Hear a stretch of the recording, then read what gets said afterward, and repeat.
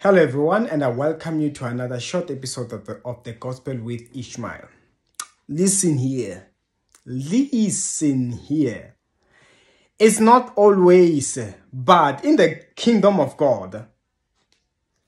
When you, even if they don't know you, the Lord said something great. Because here I want to give you, I want to tell you that you are being located. Yes, your address. Listen, Rebecca did not know that her husband was locating her, although they didn't even know her. But the moment they saw her, they wanted her.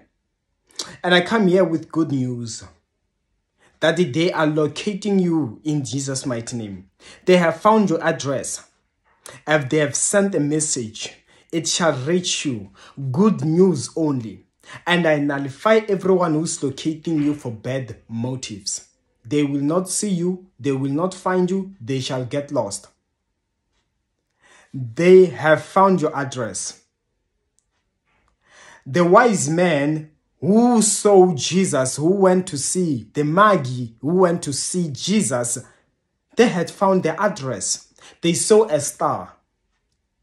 Let me tell you, those that are going to advance your key, your, your, your destiny, they shall see a star. They shall find your address. If they've been getting lost and being delayed, I nullify every blockage in Jesus' name.